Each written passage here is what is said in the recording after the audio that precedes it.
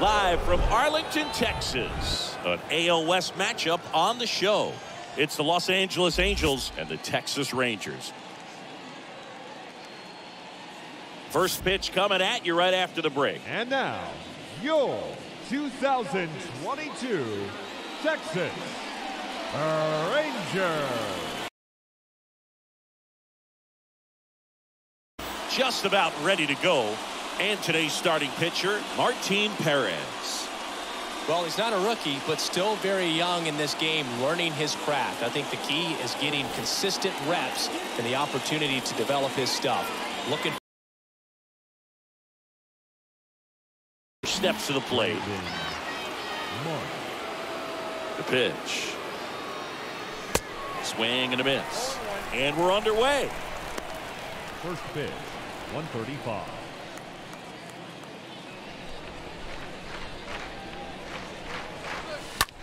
Line drive. That's a hit.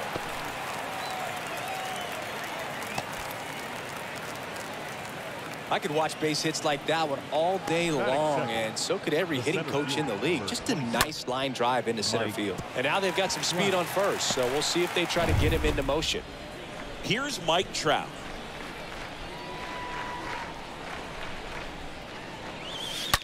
That's hard hit on the line.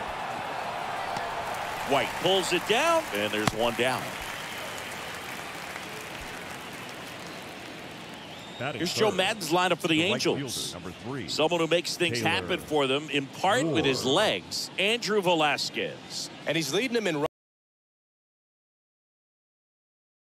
slow things down when it seems like there's a little bit of pressure and he's looking at as an opportunity to do damage you know a lot of guys they see runners on base and they get big they feel like all this pressure I've got to get these runs in but somehow he seems to settle into these situations so watch out when he comes to the plate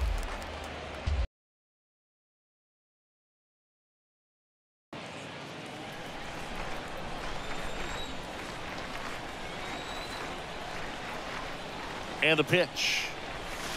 And it's fouled away. His eyes got big. He saw that changeup way out in front. Better to pull it than to get jammed on something off speed like that. The 0 2. Fastball almost got him there.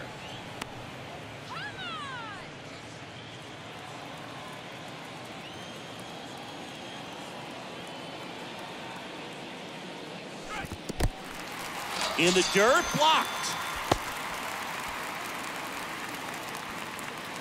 Man at first, and next for L.A., Jack the Mayfield. Jack Mayfield.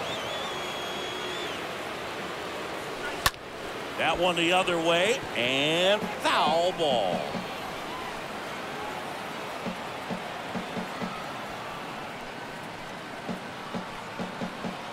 Marsh, the runner at first with two gone.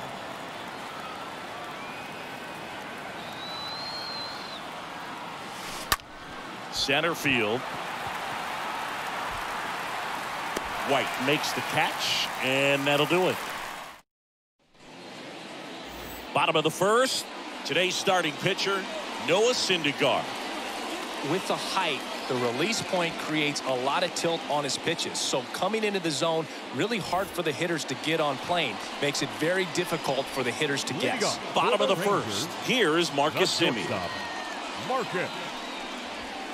First pitch doesn't find the zone.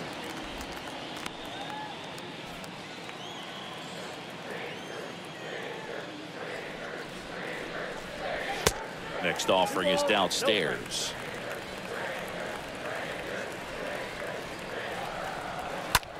Right side. Ward drifts towards it. Can't get there. Base hit. Not stopping. He's going for three. Safely into third with a lead-off triple.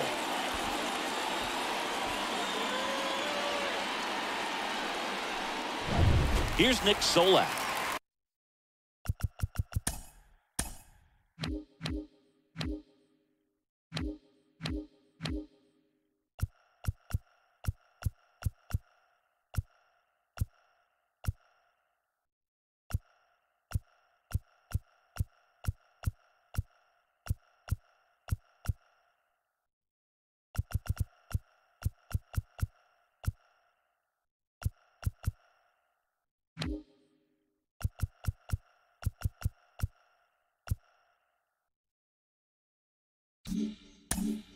Batting second, the right fielder, Nick And he swings and misses, and it's nothing in one.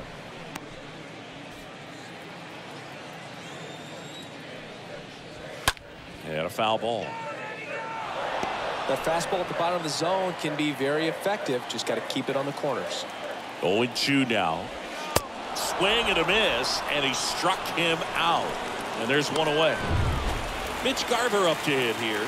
Well, three pitches, down, third. down, fastball up, swinging, boog. It's like learning a chord progression, getting those strums right, man. So many pitchers prefer working north-south these days compared to the east-west, and that was a great example right there.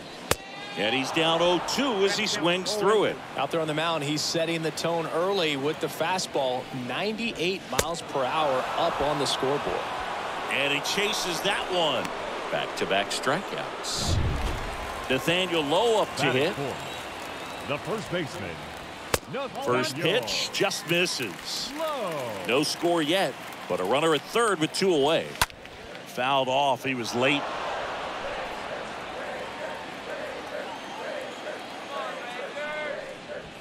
Swings and misses. And the count is one and two.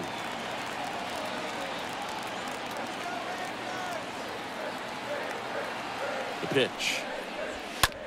To the right side.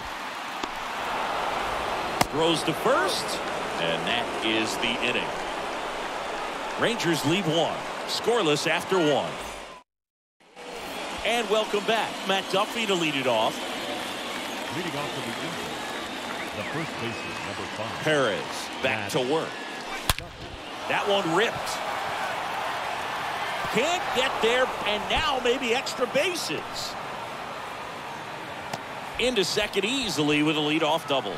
Well, clearly he was ready to hit right there. Got a good pitch to drive, stayed short with his bat path to the ball and caught it out front, and he stayed long in his follow through. That's how you split the gap, and that's pretty much a double every time. Runner in scoring position now, and a good opportunity to push across the first run of the ball game.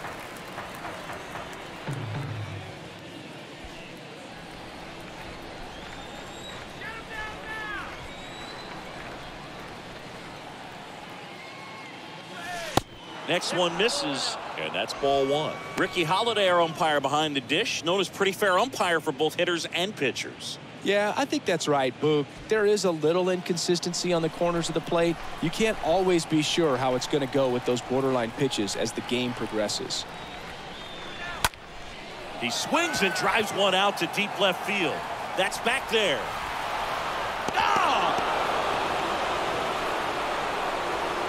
His first homer of the year. Just like that, they move in front. It's 2 nothing.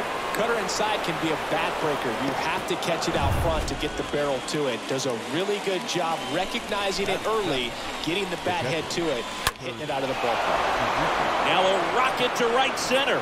Way back there. And forget it. It's out of here. He'll circle the bases. His first homer of the year, and they add to their lead. It's 3 nothing. Back-to-back homers, always a special feeling at the ballpark, especially if it's your team that does it and those guys get to slap hands at home plate.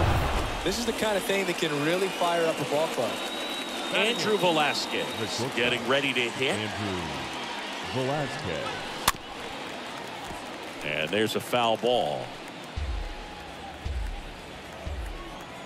Kicks and fires.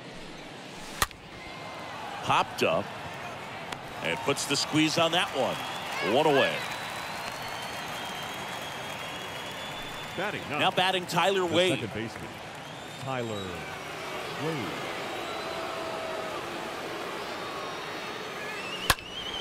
Next pitch is popped up. Culberson settles underneath it.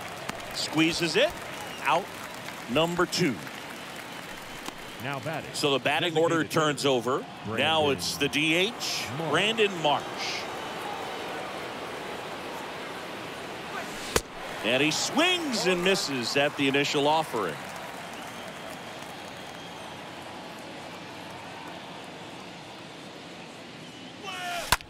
Swing and that ball smashed on a line. No trouble here. Puts it away for the out. And that is that.